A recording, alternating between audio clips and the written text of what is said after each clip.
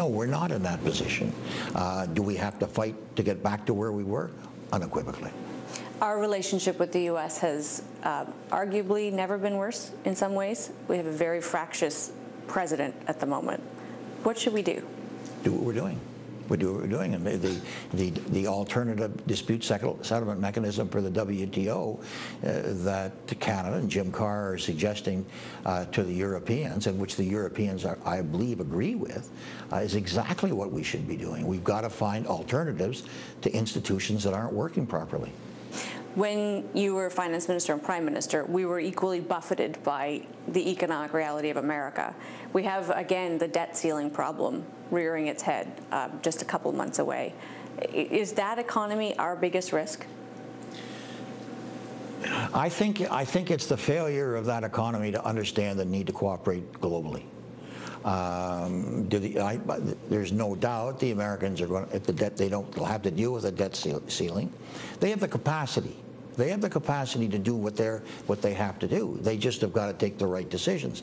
The problem now is that they're turning their backs on those decisions, and that's and and you, you, if you turn your back on working with the rest of the world, then we're obviously not going to deal with globalization's issues.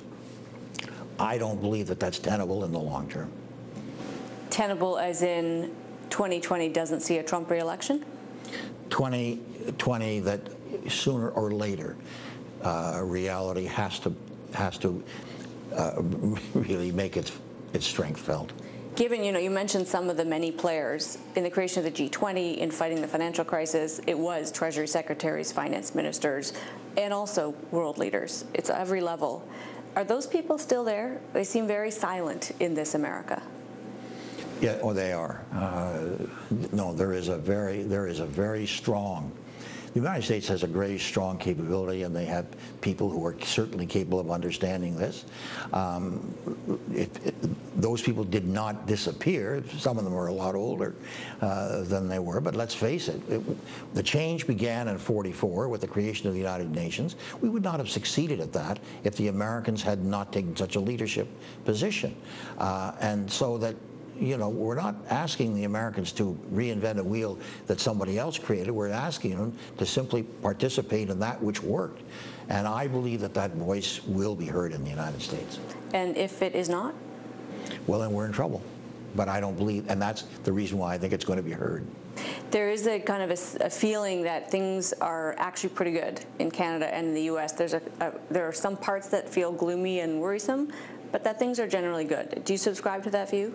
In terms of the feeling between the two countries, yes, I, no, there's no, no, doubt about that at all. When you go down, when you talk to state governments, when you talk to municipal governments, when you talk to um, a, a, great deal of people in both parties, um, I think that the will is there. Uh, and I think that the understanding is there. Um, but I don't think we should just rely on it. As a country, we've got to do what we are doing, and that is working with alternatives. We're working with the Europeans right now. We've got to work with them. We've got to essentially, there, a lot of work is going to have to take place, take place in, in Africa. Because while if we forget that Africa is going to be 25% of the world's population mm. in about 30 years, then we're going to be discussing a very different set, set of issues. So I just think we've got to work on every frontier uh, that we can.